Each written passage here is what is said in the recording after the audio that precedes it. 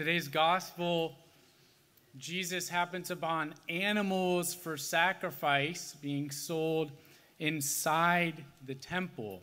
Uh, these animals were necessary for Jewish worship, they were offered as sacrifice for our sins. Um, but Jesus wants this temple area to be a place for prayer, he wants it to be sacred. The Latin word that we get sacred from, sacer, literally means set apart. Set apart. So he wants this space to be sacred for communion with God, for silence with God. We read in the gospel, we heard in the gospel, his disciples recalled the words of Scripture Zeal for your house will consume me.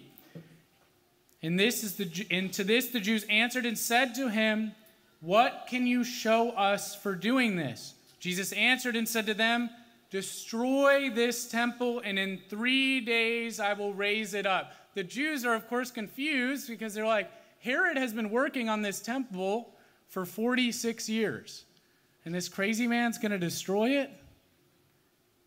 But Jesus is wanting to shift the focus from Herod's temple to the temple, the true temple, the true dwelling place of God on earth. The Word became flesh and dwelt among us, among them in the gospel, among you and me in this holy Mass. You and I are not asked to buy animals inside the temple or outside the temple. We are asked each Sunday to unite something far greater, to unite our hearts to the perfect act of love, the crucifixion. That is the sacrifice of this Mass, the destruction and resurrection of the temple of God. And what an honor it is to be invited into that love, to be invited to partake in this holy mass with our whole hearts. As many of you know, I am a fighting Texas Aggie. You're welcome, and I'm sorry. And at Texas A&M, they have this cool tradition of the Aggie ring, right? All the Aggies know to look at everybody's finger, and you're like, Father Christopher, why don't you wear your Aggie ring? It's a combination of three reasons. One, in the Mass, I am in persona Christi. My hands are ordained to be Christ's hands in the sacraments, so I don't want you to see that Jesus Christ is an Aggie. He is. uh, two, two, it might not fit anymore. Okay, that might be and third, bishops wear rings, and I don't want anybody to think I'm a bishop. Okay. So when I was at Texas A&M, we all got these awesome Aggie rings. And this is your connection to everywhere. Aggies totally rip everybody else off to support other Aggies. I know, I'm sorry. We love, we love each other. It's a great community. Not as good as the Catholic Church.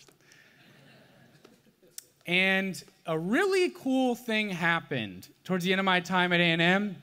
When you get 90 credit hours, you're, you are allowed to apply for an Aggie ring. And this Catholic household had a member in it that could not afford his Aggie ring. His family told him we cannot afford it, and he humbly said, Okay, I will not get an Aggie ring, and that's fine with me. And they said, That is not fine with us. So they pooled as much money as they could to buy one of these rings. I looked them up, they're $1,500 right now. And they pooled their money together and they said, We don't have enough. And they said, So let us go out into the broader community at Texas A&M St. Mary's Catholic Center. Let us ask these people who love this man, these people who have been served by this man, these people who have been to Holy Mass with this man, and let us tell them our predicament. And they did. And all of us poor college students could only respond one way absolutely. So they secretly got the size of his ring. It was a little off for the record, but they secretly got the size of his ring and they raised all of the money in one day because people love this man. In one day. And you might ask, how did they keep it a surprise? Well, they told the Association of Former Students we want to surprise our friend, and they said, Sounds awesome.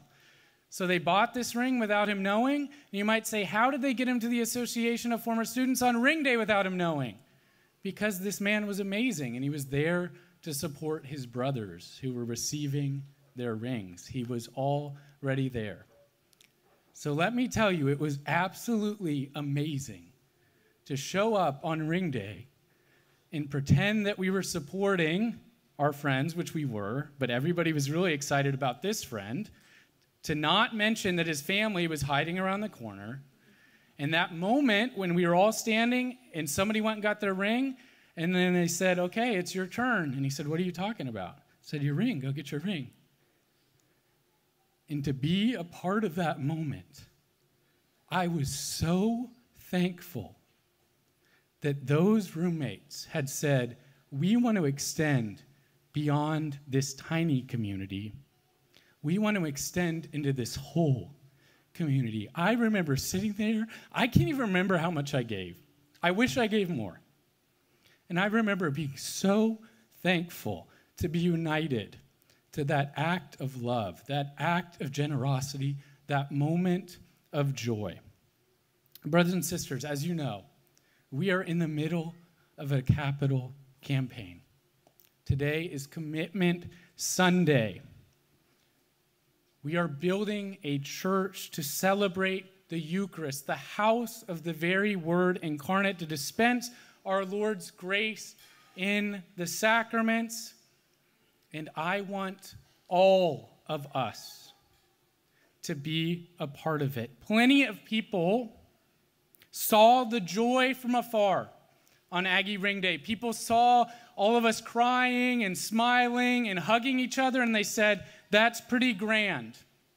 But I promise you, none of us had more gratitude than the ones who got to be such an intimate part of it, who got to be a part of the sacrifice, who got to be a part of the love. Brothers and sisters, the first Sunday in this beautiful church is going to be incredible. And I promise you that not a soul will be standing in that church thinking, man, I really regret giving money to this. I think we will all be saying, God, thank you for letting me be a part of this. Now, we aren't going to be able to surprise Jesus with a brand new church. He's seen the blueprints. We're not going to be able to surprise Father Dat with a brand new church. They both know it's coming, but I hope that we can surprise both of these incredible men by our generosity. We are at a crucial stage in this campaign. We are trying to raise 18 million to break ground, 23 million to bless this church. We are at 12 million right now. And you say, wow, we have a long way to go. We have to bring in this whole community. That 12 million consists of 442 families. That is 7% of our church. Today, we can change that. Every family has an opportunity to unite to this sacrifice, to unite to this love. Some of you might have seen the email we sent out that I told Father Dat I wanted to do something. I am giving to this campaign. I said, Father Dat, can I have the opportunity to shave my beard for this campaign? And he said, Sure. And I, I, want you to know, I do not want to shave my beard. The only person who wants me to shave my beard is my dear Grandma Alice. Okay? She hates my beard. And at first, we were talking about money. Like, what should the goal be? What should the goal be that we have you shave your beard? Correction, that we have Father Dat shave your beard. Live stream on Divine Mercy Sunday. What should the goal be? They have good ideas, these people. And I said, let's make it about the people. Let's make it about the participation. So I have said, if 2,500 families participate by March 31st, that's Easter Sunday, keep in mind, we have 6,000 families. I want all of you in on this. I want everybody to cry with me at the first day of this church. But if we get 2,500 by Easter Sunday, you will also get a live video and a live event of Father Dat shaving my beard.